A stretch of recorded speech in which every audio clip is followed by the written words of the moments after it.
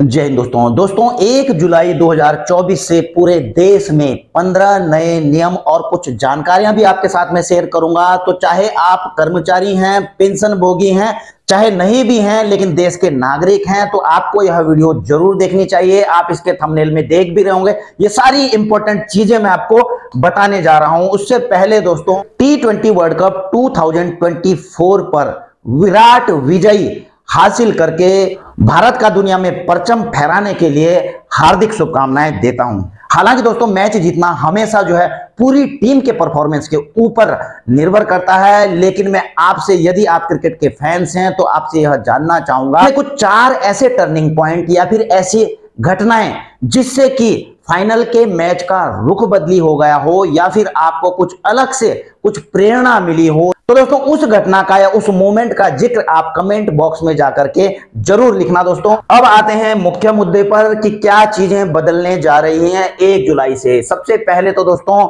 SIM आप सभी इस्तेमाल करते हैं तो सिम को लेकर के दोस्तों, बड़ी खबर है। इसके ऊपर जो है दोस्तों, नए टेलीकॉम्युनिकेशन कानून लागू हो चुके हैं। और इनकी बड़ी बात क्या है दोस्तों कि आप अब जो है अपने नाम पर नौ सिम से ज़्यादा नहीं रख सकते हैं। अन्यथा आपको पचास हज़ार से लेकर दो लाख तक का जुर्माना देना पड़ सकता है। और फर्जी तरीके से अगर आप कोई सिम ले रहे हैं तो पचास लाख का जुर्माना या तीन साल की कैद भी हो सकती है दोस्तों। और इसके अलावा भी आप जो है कुछ इन नियमों को पढ़ सकते हैं। अब दोस्तों, आप सोच रहे होंगे कि हमें तो याद ही नहीं है कि हमने अपनी आईडी से कितने सिम लिए हैं। तो मैं आपको यह बता दूँ दोस्तों, जो टेलीकम्युनिकेशन की यह साइट है, वेबसाइट, आप इसको नोट भी कर सकते हैं।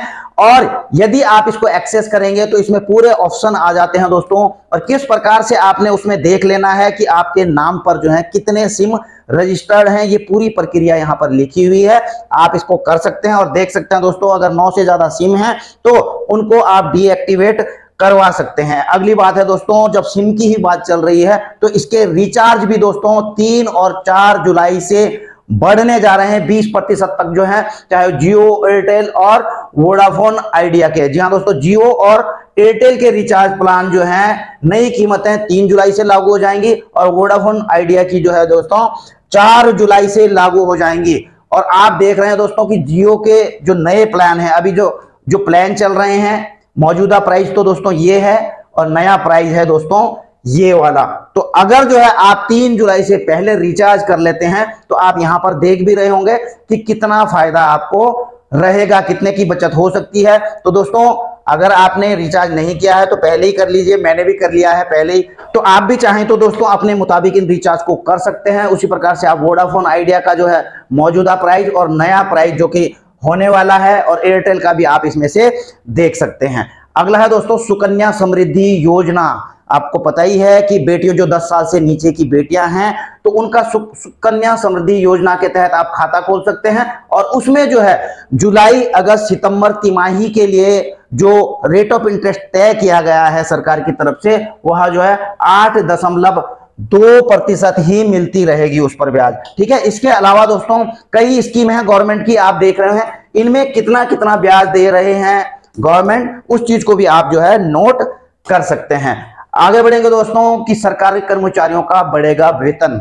जी हाँ दोस्तों, आपको पता ही है कि एक जुलाई से जो है, एक जुलाई से तो एक जो कर्मचारी होते हैं, सरकारी कर्मचारी, उनको जो है, उनकी सैलरी में, बेसिक सैलरी में एक इंक्रीमेंट उनको मिलता है। साल भर में जो है दोस्तों, एक इंक्रीमेंट मिलता है तो एक जुलाई को एक तो उनकी बेसिक सैलरी बढ़ जाएगी। दूसरा, एक जुलाई को जो है उनका डीए भी बढ़ेगा। और जो पेंशनर्स हैं, उनका जो है डीआर बढ़ेगा। तो डीए मिलता है दोस्तों सर्विंग को डियरनेस अलाउंस और पेंशनर्स को मिलता है डियरनेस रिलीफ और साल भर में दो बार बढ़ता है महँगाई दर, महँगाई राहत जिसको कहते हैं।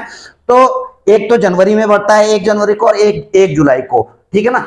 तो अगर जो है दोस्तों, अप्रैल के ए के आंकड़े देखे जाएँ तो इसमें जो है तीन प्रतिशत वृद्धि जो है होना तय है। संभवतः तीन प्रतिशत की वृद्धि हो सकती है और यह पचास प्रतिशत से बढ़कर के तिरपन प्रतिशत हो जाएगी। हालाँकि दोस्तों, जब जून लास्ट तक के आंकड़े आ जाएँगे, उसी के बाद जो है यह कंफर्म हो पाएगा। लेकिन आप यह समझ के चलिए कि तीन प्रतिशत की वृद्धि इसमें संभवतः होना तय है। अगला दोस्तों, अब आपको पता ही है बजट का सेशन है जुलाई में तो इस समय जो है खबरें निकल करके आ रही हैं कि इनकम टैक्स के ऊपर जो है बड़ी छूट मिल सकती है। दस, अभी दस लाख रुपए तक की आय पर टैक्स छूट की उम्मीद है। और 80 सी में भी जो आपको पता है 80 सी में आप डेढ़ लाख तक का इन्वेस्टमेंट दिखा सकते हैं तो इसमें भी जो है कुछ बढ़ोतरी कर सकती है कि दो लाख, ढाई लाख तक जो है 80 सी में आप इन्वेस्ट कर सकते हैं। और अगली चीज़ है दोस्तों, जो सैलरीड और पेंशनर्स हैं, आपको पता है कि उनको स्टैंडर्ड डिडक्शन मिलता है पचास हज़ार तक का तो उसको भी बढ़ा करके एक लाख तक किया जा सकता है। अच्छा दोस्तों, खबर है कि इस बजट सेशन में आठवें पे कमीशन के गठन की घोषणा हो सकती है और इससे पहले वित्त मंत्री सीता रमन जी जो है, कर्मचारी संगठनों से मिली थी और कर्मचारी संगठनों ने जो है आठवें वेतन आयोग के गठन के अलावा जो है कई मांगे रखी थी। तो कर्मचारी संगठनों की मांगों को देखते हुए उनसे संबंधित अन्य घोषणाएँ भी इसमें आपको देखने को मिल सकती हैं। इसी प्रकार से जो है एनपीएस दोस्तों, अभी खबर कुछ दिन पहले आई थी कि सरकार जो है इस पर विचार कर रही है कि जो एनपीएस के स्कीम के तहत कर्मचारी आते हैं तो उनको जो पेंशन मिले, वह 50 परसेंट प्रोटेक्ट की जाए ओल्ड पेंशन की तरह। तो दोस्तों इस पर आगे क्या जानकारी निकल करके आती है वो आगे पता लगेगा। अगला है दोस्तों ओआरओपी का तीसरा थर्ड रिवीजन जैसे कि आपको पता है कि जो डिफेंस पेंशनर्स हैं उनको जो है ओ का लाभ दिया जाता है और जो तीसरा इनका रिवीजन होना है दोस्तों एक जुलाई 2024 से यह लागू हो जाता है। और आप सोच रहे होंगे दोस्तों कि यह तुरंत जो है इस पर कार्रवाई हो, हो जाएगी तो ऐसा नहीं है कि पीसीडीए इसको डायरेक्ट जो कर देगा। तो ऐसा नहीं है दोस्तों। इससे पहले कुछ कार्रवाइयाँ होंगी मिनिस्ट्रियल जो है कार्रवाइयाँ होंगी ऑर्डर निकलेंगे। इस पर मैं सेपरेट वीडियो बनाऊँगा आपके लिए और उसके बाद जो है पीसीडीए जो है उन निर्देशों के अनुसार जो है इसको रिवाइज करेगा। अगला इक्वल एमएसपी के ऊपर भी दोस्तों खबर है। यह भी जो है डिफेंस पेंशनर्स के लिए है या फिर सेवारत सैन्य कर्मियों के लिए है कि इक्वल एमएसपी का मामला जो कि दिल्ली हाईकोर्ट में चल रहा है तो उसमें जो है अब 10 जुलाई 2024 को सुनवाई होगी और इसका समय है साढ़े तीन बजे। और हो सकता है दोस्तों की नई बेंच यहाँ पर जो है सुनवाई करे। अगला है दोस्तों नौकरी के ऊपर। जी हाँ दोस्तों, रोज़गार के ऊपर भारतीय डाक विभाग ने दोस्तों पैंतीस हज़ार वैकेंसीज निकाली हैं दोस्तों। बिल्कुल इस चीज़ के लिए आप तैयार हो जाइए। फ़ीस है केवल सौ रुपए। विज्ञापन इसका जारी 25 जून को हो चुका था और आखिरी तारीख है दोस्तों 15 जुलाई 2024 और यह जो है आप देख रहे हैं इसका विज्ञापन दोस्तों कि कौन कौन सी कब कब वैकेंसीज हैं, आप इसका स्क्रीनशॉट भी ले सकते हैं और इसके रिगार्डिंग अगर आपको और भी जानकारी चाहिए तो मैं उसका लिंक जो इस वीडियो के डिस्क्रिप्शन में दे दूँगा। आप पूरी की पूरी उसमें जानकारी लीजिए और इसके लिए जो है आप अप्लाई कीजिए। जो भी अलग अलग पोस्ट हैं, उसके लिए आप देख ही रहे हैं। उनका टाइम शेड्यूल क्या है तो इसके अनुसार जो है आप अप्लाई कर सकते हैं। अगली है दोस्तों एनपीएस के उपभोक्ताओं के लिए ही खुशखबरी। आपको पता ही है कि जो एनपीएस के उपभोक्ता होते हैं उनकी सैलरी से जो है एनपीएस कंट्रीब्यूशन चला जाता है लेकिन दो तीन दिन में वो जो है जाकर के एनपीएस में उसका इन्वेस्टमेंट होता है। लेकिन अब जो है यह क्या है सुविधा जैसे ही उनका एनपीएस का खाता खा, एनपीएस के लिए उनकी सैलरी से कटेगा तो वो वन डे सेटलमेंट हो जाएगा। एक ही दिन में सेटलमेंट हो जाएगा तो पीएफआरडीए पीएफआरडीए ने जो है नेशनल पेंशन स्कीम के ग्राहकों के लिए निपटान प्रक्रिया में एक महत्वपूर्ण बदलाव की यह घोषणा की है दोस्तों। और आपको पता होना चाहिए, इससे क्या होगा दोस्तों कि जो करंट एनएवी है नेट असेट वैल्यू उस फंड की, वो तुरंत मिल जाएगी और इससे जो है, जो कर्मचारी एनपीएस के उपभोक्ता हैं, उनको इसका फ़ायदा होगा। अगला जो पीएफ खाता धारक हैं दोस्तों, उनके लिए है। अब उनके लिए थोड़ा जो है अच्छी खबर नहीं है क्योंकि कोविड 19 के समय में जो है उनको उनको जो है तीन महीने की सैलरी का 75 परसेंट निकालने की उनको सुविधा दी गई थी लेकिन अब जब कोविड नहीं है तो अब जो है इस सुविधा को उनके लिए बंद कर दिया गया है यानी कि तीन महीने की सैलरी का 75 परसेंट जो है नहीं निकाल पाएँगे।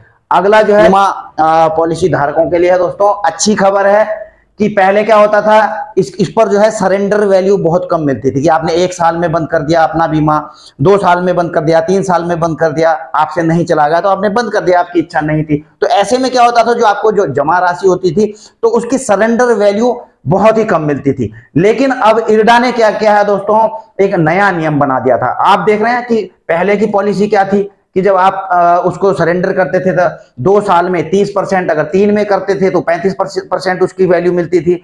तो इसी प्रकार से चार से सात साल के बीच में पचास प्रतिशत जो है इसकी सरेंडर वैल्यू दी जाती थी। लेकिन जब जो अब जो है ईडा ने इसके ऊपर जो नया नियम निकाला है तो अब कितनी मिलेगी सरेंडर वैल्यू आप यहाँ पर देख रहे हैं। सपोज़ जो है दो लाख का आप प्रीमियम देते हैं चार साल के लिए देते हैं तो दो लाख यदि आप जमा होते हैं तो पहले एक लाख बीस हज़ार रुपए मिलता था इसका। लेकिन अब कितना मिलेगा?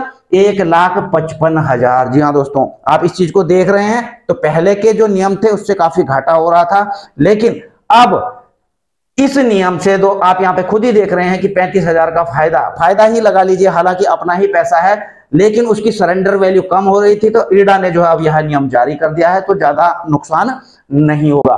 अगला दोस्तों chief of the army staff भारतीय सेना के थल सेनाध्यक्ष का पदभार बदली हो चुका है दोस्तों। यह 30 जून था दोस्तों तो general Upendra Dwivedi PVSM AVSM ने general Manoj Pande PVSM AVSM VSM ADC से तीसवें थल सेना प्रमुख के रूप में पदभार ग्रहण कर लिया है दोस्तों। तो ये जनरल मनोज पांडे साहब है। इन्होंने पदभार अब जनरल उपेंद्र द्विवेदी साहब को दे दिया है। तो दोस्तों, यह थी इस वीडियो में महत्वपूर्ण जानकारियाँ और खबरें। वीडियो अगर आपको अच्छी लगी हो तो इसको लाइक, शेयर कर सकते हैं। चैनल में यदि आप नए हैं तो चैनल को सब्सक्राइब करके बेल आइकन का घंटा दबा सकते हैं ताकि आपको मेरी आने वाली वीडियोस की नोटिफिकेशन भी मिलती रहे। जल्द मिलेंगे नई वीडियो में नई जानकारी के साथ। जय हिंद, वंदे मातरम।